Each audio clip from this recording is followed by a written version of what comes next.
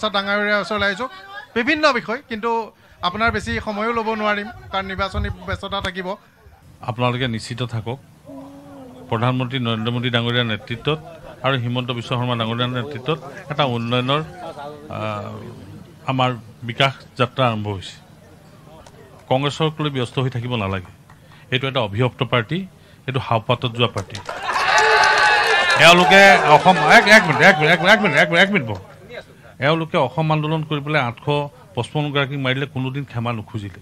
সেই পাৰ্টিটোক লৈ পেলাই ব্যস্ত হ'ব নালাগে। তেওঁলোকে দুৰ্ভাগ্যজনক যে তেওঁলোকে এই কথা কৈছে। চাহ জনগোষ্ঠীৰ মানুহজনে কৈছে এওঁলোকে আলিকুলি বঙালী বুলি বিভিন্ন সময়ত ৰাজনীতি কৰিলে। চাহ বাগিচা মানুহখিনিক গোলাম কৰাৰ পৰা অকণমানতে বচালে। আমি যদি নহা হ'লে আমাৰ অসুবিধা হ'লহেঁতেন। মোৰ কথা আমেৰ কথা হৈছে লোকসভা নিৰ্বাচনটো বহুত ঠেকগণ্ডিৰ নিৰ্বাচন নহয়। এইটো এটা বৃহৎ স্বাৰ্থ। অসমৰ স্বাৰ্থ তাত জড়িত আছে দেশৰ স্বাৰ্থ জড়িত আছে। দেশক প্ৰতিনিধিত্ব কৰাৰ স্বাৰ্থ জড়িত আছে। মনমোহন সিঙৰ দিনত দেশখনৰ অৱস্থা যিটো কৰি পেলাইছিলে। নৰেন্দ্ৰ মোদী এক মিনিট এক মিনিট। ক্ষমতা আপোনালোকে কংগ্ৰেছত আছেতো? আঠশ পঁচপন্ন আপুনি অসম আন্দোলন কৰা মানুহ নহয়। আঠশ পঁচপন্নজন মানুহ মৰা আপোনালোকে কোনদিন ক্ষমা নোখোজিলে? এটা ছাত্ৰ সন্থাৰ প্ৰতিনিধি আছে। এক মিনিট এক মিনিট এক মিনিট। এইটো বেলেগ কথা। চুক্তি কৰাৰ পিছত এই ৰ'ব এক মিনিট এক মিনিট ৰ'ব। মই তেওঁলোকক মই তেওঁলোকক দুয়োপক্ষকে মই কৈছোঁ। শুনি লওক এক মিনিট কথা।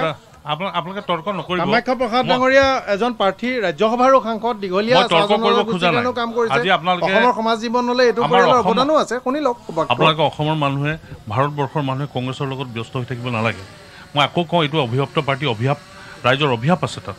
এইকাৰণে অভিশাপ আছে যে স্বাধীনতাৰ পঁয়সত্তৰ বছৰৰ পিছত এখন দেশক যিটো দৰিদ্ৰতাৰ কবললৈ ঠেলি নিলে সেই মানুহখিনিক উঠাবৰ কাৰণে আমি বহুত কষ্ট কৰিব লগা হৈছে।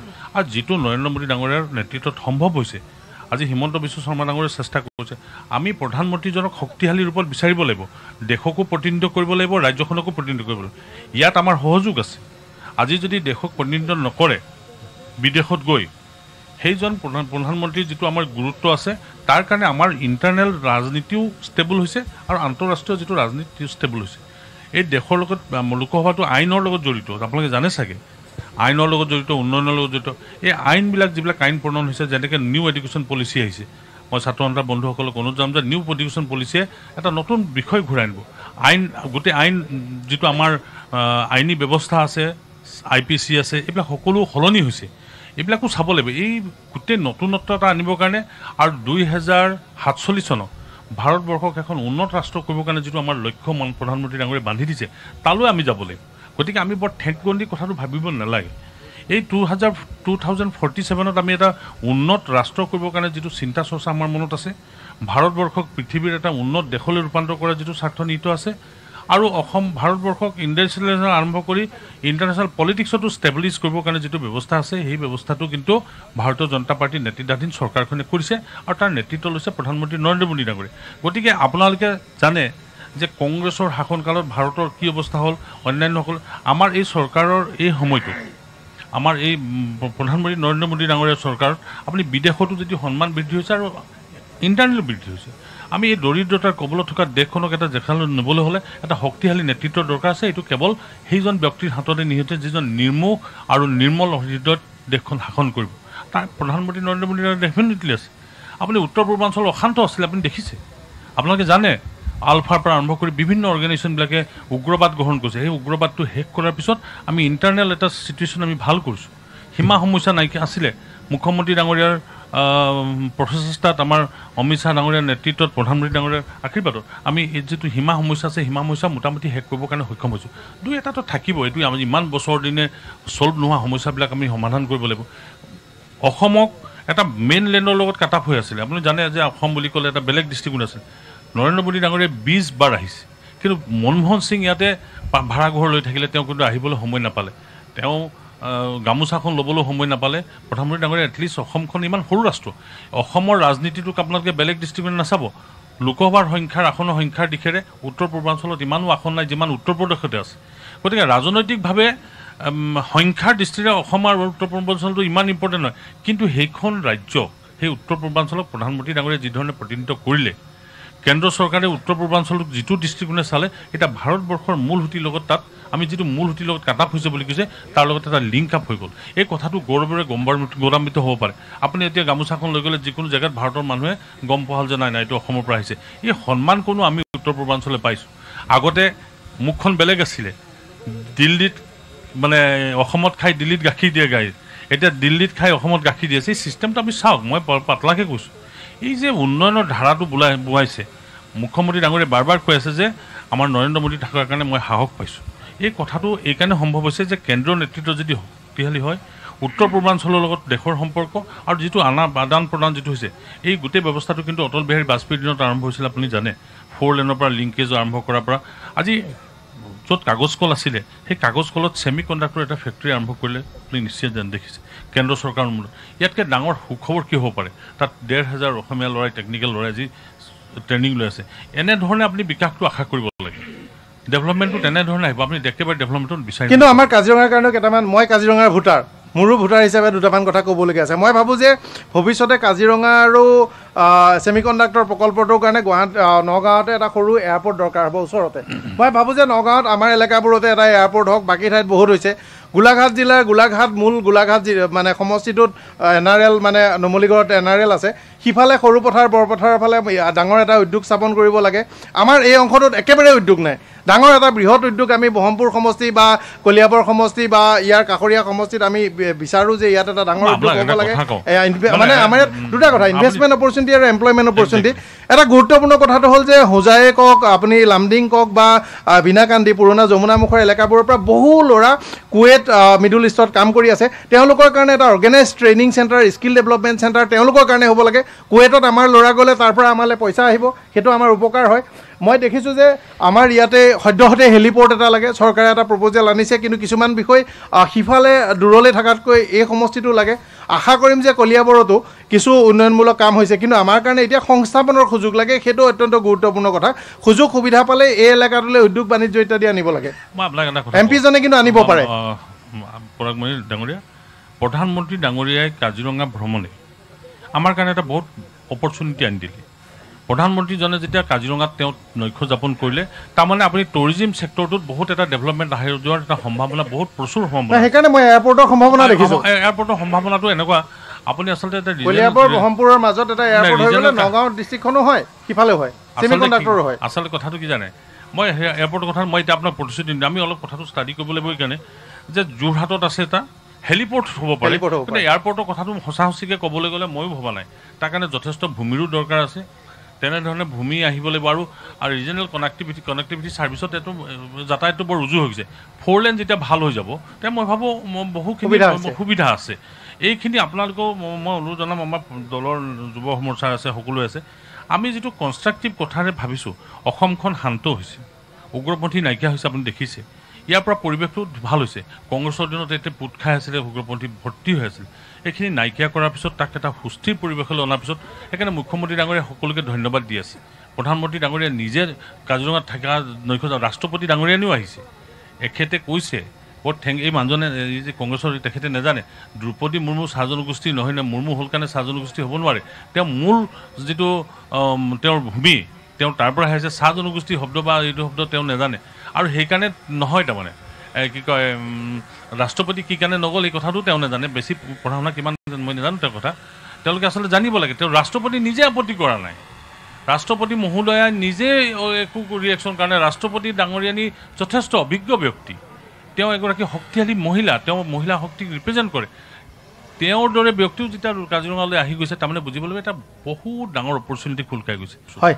আমি যিমানখিনি কথা শুনিলোঁ কংগ্ৰেছৰ যি বক্তব্য আগবঢ়াইছে অনুভৱ কৰিছোঁ। তেখেতসকলে সেই আগৰ ৰাজনীতি কৰি আছে আগৰ পৰা যি ৰাজনীতি সূতা কম্পলৰ ৰাজনীতি উন্নয়নৰ ৰাজনীতি তেওঁলোকে বুজি পোৱা নাই এতিয়ালৈকে। সূতা সূতা কম্বলৰ ৰাজনীতি ক'লে তেওঁলোকে বিৰাট ভাল পালেহেঁতেন। আৰু উন্নয়নৰ যি ৰাজনীতি সেই যিটো ধাৰা সেই ধাৰাটো বুজিবলৈ তেওঁলোকৰ বহুত বাকী আছে।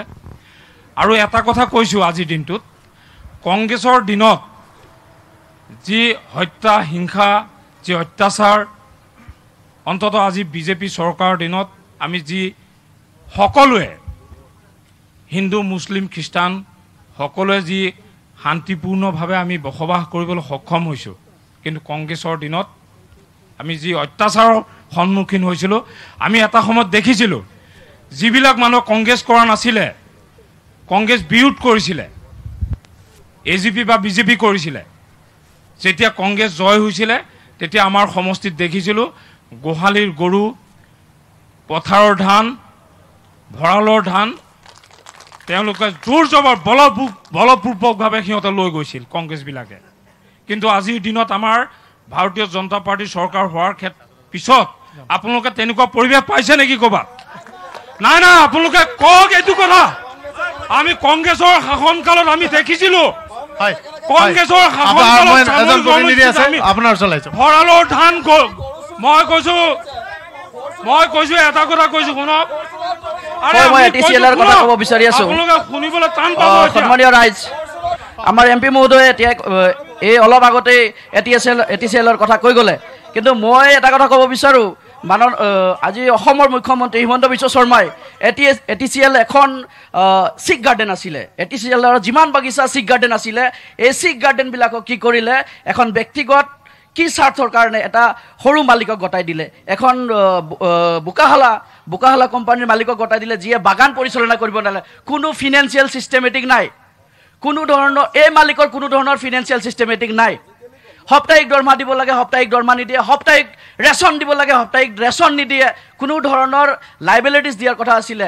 চিক গাৰ্ডেনখিনি গতাই দিয়াৰ আগত অসম চাহ নিগমৰ অধীনত যিখন যিকেইখন বাগিচা আছিলে সেইকেইখন ব্যক্তিগত কোম্পানী গতাই দিয়াৰ আগত অসম চৰকাৰৰ দায়িত্ব আছিলে অসম চাহ নিগমৰ দায়িত্ব আছিলে যে যিমানখিনি লাইবিলিটিজ আছে চাহ শ্ৰমিকৰ সেইখিনি লাইবিলিটিজ দিব লাগে। কিন্তু আজিলৈকে সম্পূৰ্ণ নহ'ল। ছাৰ মোক ক'বলগীয়া আছে। এতিয়াও মোক ক'বলগীয়া আছে। আৰু মই ক'ব বিচাৰোঁ যে আজি আপুনি এই কাজিৰঙা বা এই কলিয়াবৰ চামগুৰিত চাহ জনগোষ্ঠী অঞ্চলত গৈ- পেলাই চাওক। যদি কোনোবা ঘৰত S D O' D C কোনোবা ঘৰত চাৰ্কুল অফিচাৰ আছে নেকি? আছে নেকি ৰাইজ? নাই।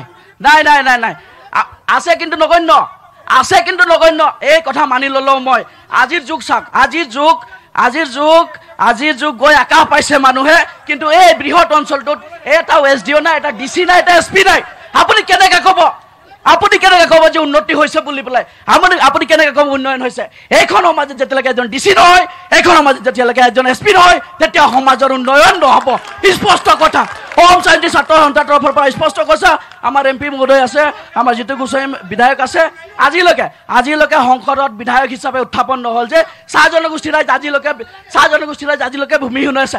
মই আপোনাক অপেন মই আপোনাক মুকলি প্ৰত্যাহ্বান মই আপোনাৰ মুকলি প্ৰত্যাহ্বান। চাহ জনগোষ্ঠী চাহ জনগোষ্ঠীসকল আজি চাহ জনগোষ্ঠী আদিবাসীসকল আজিলৈকে ভূমিহীন হৈ আছে।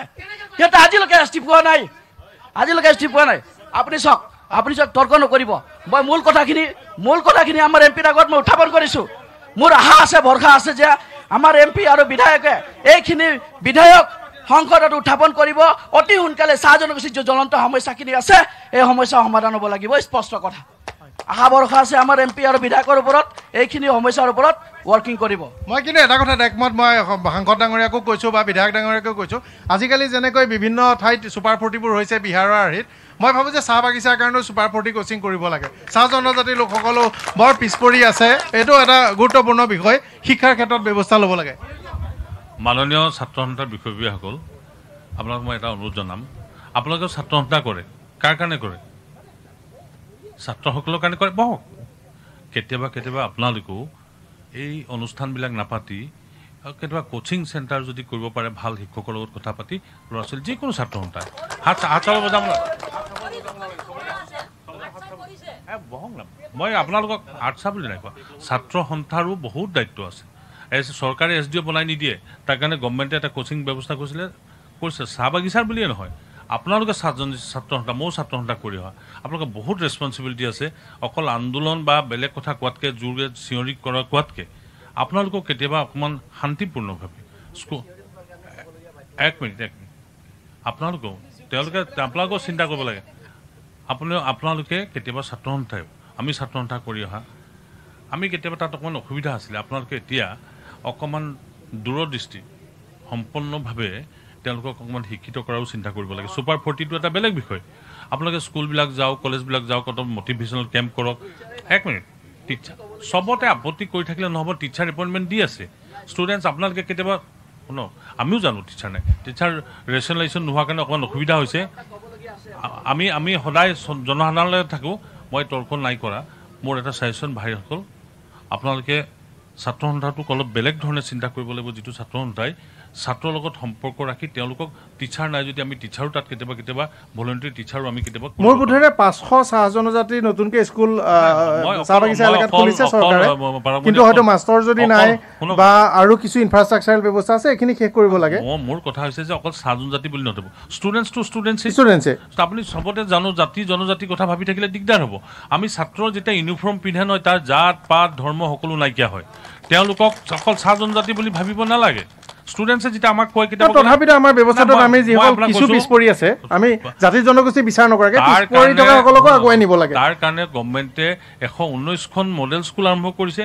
তাৰ কাৰণে আৰু এশখন স্কুল দিব খুজিছে। তাৰ কাৰণে আপুনি ভবাৰ ধৰণে এল পি স্কুল এই গোটেই অবিভক্ত গোলাঘাট নগাঁও এই জিলাবিলাকত য'ত চৰকাৰী স্কুল নাছিলে এইবিলাক শিক্ষক চৰকাৰী দিয়াৰ কাৰণে চিন্তা কৰিছে। যথেষ্টখিনি চিন্তা। যিখিনি কম আছে যিখিনি উপস্থাপন কৰিছে সেইখিনিও আপুনি যিখিনি সেইবিলাকতো পূৰণ কৰিব লাগিব। আমি মডেল স্কুলত কিমান বাৰ গৈছোঁ? কিমান বাৰ সচেতন মানুহ স্কুলবিলাকত যাওঁ? আৰু কিমান বাৰ গৈ পেলাই আমি ছাত্ৰ ছাত্ৰীৰ লগত আমি কথা পাতোঁ? কিমানজন প্ৰধান শিক্ষকৰ লগত আমি কথা পাতিছোঁ কিমানখন অংগনবাদী চেণ্টাৰ গৈছোঁ সেইবিলাক হিচাপটো এনালাইচিছো চাহ বাগিচা এলেকাত ড্ৰপ আউট বহুত বেছি। আপুনি অকল চাহ বাগিচা বুলিয়ে নাভাবক। Drop out বহুত বেছি। ড্ৰপ আউট কমিছে আৰু ড্ৰপ আউট কমিবৰ কাৰণে ড্ৰপ আউটটো নাইকিয়া কৰিব লাগিব। এই ড্ৰপ আউটৰ সমস্যাটো হৈছে সময়টো। এই সময়টো যাতে আমি সোনকালে ওলাব পাৰোঁ তাৰো চিন্তা চৰ্চা কৰিব লাগিব। গাঁও অঞ্চলটোত ড্ৰপ আউট আছে। গাঁও বাগিচা মোৰ দৃষ্টিকোণেৰে। ইউনিফৰ্ম পিন্ধাৰ লগে লগে ছাত্ৰটো জাত পাত সকলো নাইকিয়া হৈছে। ইউনিফৰ্ম ইজ ইউনিফৰ্ম ধন্যবাদ জনাইছোঁ। মই অকণমান এটা কথা ক্লিয়াৰ কৰি দিছোঁ। মই মই ধন্যবাদ জনাইছোঁ আমাৰ চাহ জনগোষ্ঠী ছাত্ৰ সন্থাৰ তেখেতে কোৱা কথাটোৰ কাৰণে। এটা জাষ্ট ক্লিয়াৰিফিকেশ্যনৰ কাৰণে মই আপোনাক কৈছোঁ আপুনি যিটো কথা কৈছে যে আমাৰ এ টি চিৰ যিসমূহ বাগান আপুনি বোকাহোলা কোম্পেনীক যিটো দিয়াৰ কথা কৈছে এ টি চিৰ বাগানসমূহৰ কাৰণে আপোনালোক কাৰণ আমিও জানো যিটো প্ৰব্লেম হৈ আছে আপুনি যিটো প্ৰব্লেম কাৰণ মোৰ এৰিয়া ওচৰে পাজৰে হৈছে মই জানো বহুতো আমাৰ মজদুৰসকলে তেওঁলোকে হেৰি পোৱা নাই তেওঁলোকৰ দৰমহা চৰমহা পোৱা নাই যিটো প্ৰব্লেম হৈ আছে। কাৰণ অসম চৰকাৰৰ দায়বদ্ধতাটো মই আপোনাক কৈছোঁ মুখ্যমন্ত্ৰী ডাঙৰীয়াই আজিৰ পৰা এসপ্তাহ আগত এখন নটিচ দিছে প্ৰত্যেকখন চাহ বাগানৰ মালিকলৈ আৰু প্লাছ গভৰ্ণমেণ্টলৈ ডি চিলৈ এখন নটিচ দিছে ক'ৰবাত যদি কোনোবা বাগানত আজিলৈকে যদি ডেইলি ৱেজেছ কোনোবা বাগানত যদি পোৱা নাই যিখন এ টি চিৰে হওক বা ইয়ে হওক সেইখন প্ৰভিডেণ্ট ফাণ্ডৰ পৰা এখন পইচা পে'মেণ্ট কৰিবৰ কাৰণে যেন আমাৰ আমাৰ তাত কোনো যেন বন- যোনসকলে কাম কৰা কাম কৰা মানুহে যেন কোনেও পইচা নোপোৱাকৈ নাথাকে। প্ৰত্যেকটো পইচা পাই তাৰ কাৰণে এখন নটিচ জাৰি কৰিছে। আপোনাৰ ইনফৰ্মেশ্যনৰ কাৰণে কৈছোঁ। আৰু সেইকাৰণে আপুনি দেখিছে অলপতে চব পে'মেণ্টটো কৰিছে। আপুনি আজিৰ পৰা জানে চাগে তিনি চাৰিদিন আগত সকলোৱে পে'মেণ্টটো কৰিছে। অসম চৰকাৰৰ সম্পূৰ্ণ দায়বদ্ধতা আছে। আমাৰ মুখ্যমন্ত্ৰী ডাঙৰীয়াই চাহ বাগানৰ প্ৰত্যেকটো কথা তেখেতে অনুভৱ কৰে আৰু অনুতপ্ত। আৰু চাহ বাগানৰ আজি এ টি চিৰ এইটো পৰ্যায় হ'ল। আপুনি এইটো নহয় যে এ টি চি কোনোবা এজন কোনোবা এজন মালিক ফেইল হ'ব পাৰে। ডাঙৰ ডাঙৰ আজি ডাঙৰ ডাঙৰ ইণ্ডাষ্ট্ৰিয়েল হাউচো ফেইল হৈ যায়। দিয়াৰ আগততো নাজানে কোনোবাই টেণ্ডাৰ মাৰিলেতো ক'ব নোৱাৰে যে তেওঁ নে ঠিক আছে টাটাটিটো বিডাৰ নাছিলে। ধৰক টাটাটিয়ে যদি বিড কৰিলে হয় বেলেগ কথা। চাওক বিড এটা কৰিলে কোনোবা এজন কণ্ট্ৰেক্টৰে টেণ্ডাৰ মাৰিলেতো গম নাপায় গভৰ্ণমেণ্টে কিন্তু যেতিয়া কাম কৰেহে গম পায়। নহয়, একো নাই। মই আপোনাক কৈছোঁ আপুনি এটা কথাত ক্লিয়াৰ থাকক। মুখ্যমন্ত্ৰী ডাঙৰীয়া নটিচখন মই আপোনালৈ পঠাই দিম হোৱাটছআপত মই আপোনালৈ পঠাই দিম চাব প্ৰত্যেকখনলৈ ষ্টেণ্ডিং অৰ্ডাৰ আছে যে কোনো ক্ষেত্ৰত টি ৱৰ্কাৰ্ছৰ ক্ষেত্ৰত তেওঁৰ যেন পে'মেণ্ট কিবা ক্ষেত্ৰত পে'মেণ্ট যেন কোনো মালিকে ৰাখিব নোৱাৰে। যদি ৰাখিছে প্ৰভিডেণ্ট ফাণ্ডৰ পৰা পে'মেণ্ট কৰাই দিয়া হ'ব। পে'মেণ্ট কৰাই তেওঁক পাছত তেওঁৰ পৰা ৰিয়েলাইজ কৰা হ'ব। আপুনি এইখিনি এইখিনি এই- এইটোৱে মই কৈছোঁ নহয় ন- জমা নহ'লে একো নাই জমা নহ'লে অকশ্যনত যাব জমা নহ'লে বাগান অকশ্যনত যাব। কিন্তু আমাৰ আমাৰ লেবাৰৰ লেবাৰৰ ছিকিউৰিটি লেবাৰৰ ৱেজেছৰ গেৰাণ্টি অসম চৰকাৰ দায়বদ্ধ আমাৰ। মুখ্যমন্ত্ৰী ডাঙৰীয়া দায়বদ্ধ। নাই মই আচলতে এই মুহূৰ্তত এটা বিৰতি ল'ব লাগিব সময় হৈ আহিছে এটা চমু বিৰতি ল'ম। বিৰতিৰ পিছত উভতি আহিম চৰ্চা অব্যাহত থাকিব। এতিয়া এই মুহূৰ্তত চমু বিৰতি।